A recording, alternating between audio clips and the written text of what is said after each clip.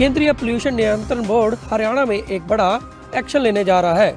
Pollution विभाग अगर यह एक्शन लेता है तो हरियाणा के तीन बड़े थर्मल पावर प्लांट बंद हो सकते हैं। केंद्रीय प्रदूषण विभाग हरियाणा के तीन पावर प्लांट पर एक्शन की तैयारी में है। अगर ऐसा होता है तो दिल्ली में अंधेरा छा सकता है। और ये तब होगा जब 15 दिनों के अंदर हरियाणा के तीन बड़े थर्मल पावर प्लांट केंद्रीय प्रदूषण विभाग को नोटिस का जवाब नहीं देते। दरअसल पराली के बाद अब कोयले से चलने वाले थर्मल पावर प्लांट पर केंद्रीय प्रदूषण नियंत्रण बोर्ड की नज़रें हैं।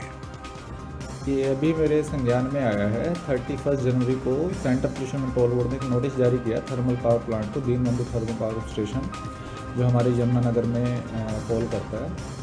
तो इनको डायरेक्शन दी गई थी इससे कुछ समय पहले सेंटर पोल्यूशन कंट्रोल बोर्ड ने रिवाइज स्टैंडर्ड जारी किए थे थर्मल पावर प्लांट्स के लिए।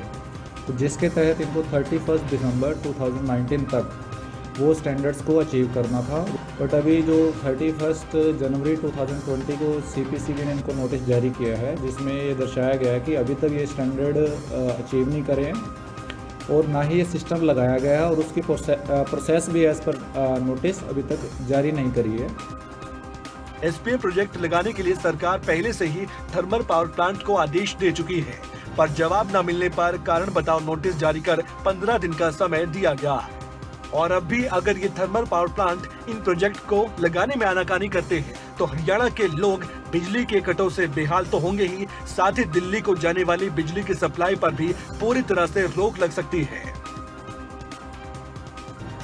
जिस टाइप से आप देख रहे हैं कि पोल्यूशन तो डे बाय डे बढ़ ही रहा है, चाहे वो एयर पोल्यूशन चाहे वाटर पोल्यूशन है तो उसी हिसाब से सेंट्रल पोल्यूशन कंट्रोल बोर्ड अपने जो स्टैंडर्ड्स हैं अमिशन स्टैंडर्ड्स हैं, चाहे वो हवा के हैं चाहे पानी के हैं, उनको स्टेंजेंट कर रहा है डे बाई डे और जो भी इंडस्ट्रीज़ हैं, खासकर जैसे थर्मल पावर प्लांट हैं या शुगर इंडस्ट्रीज़ हैं या डिस्ट्रीज़ हैं, इनको, इनके लिए, इनका जो कंट्रीब्यूशन है पोल्यूशन को लेके वो ज़्यादा है तो इनके इनके ऊपर ज़्यादा वो नियम लागू होते हैं और इनके जो एनवायरनमेंट को लेके जिनका कंट्रीब्यूशन है वो ज़्यादा बनता है।